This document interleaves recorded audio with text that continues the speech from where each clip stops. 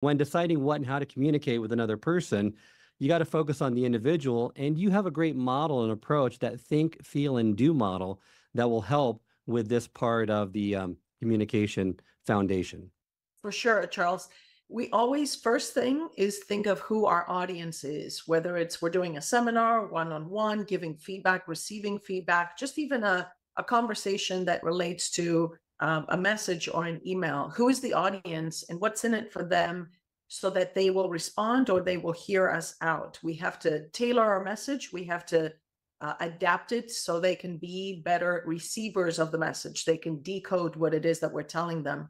So by thinking of people, by thinking and feeling how they feel, being empathetic and actually acting is the best way. I always say is don't deliver a message in the way that you want to receive a message. Always be thinking of tailoring to your audience.